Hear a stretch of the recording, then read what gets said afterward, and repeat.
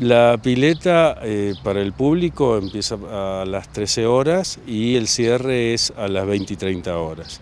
la pileta bueno, va a tener los servicios de la gente que controla la actividad, que son los profes de la Dirección de Deporte, y se está, está una cantina que funciona en el Quincho, en donde bueno, ahí están los eh, sándwich, gaseosa y, bueno, y todo tipo de alimentos que se pueden eh, consumir en la pileta.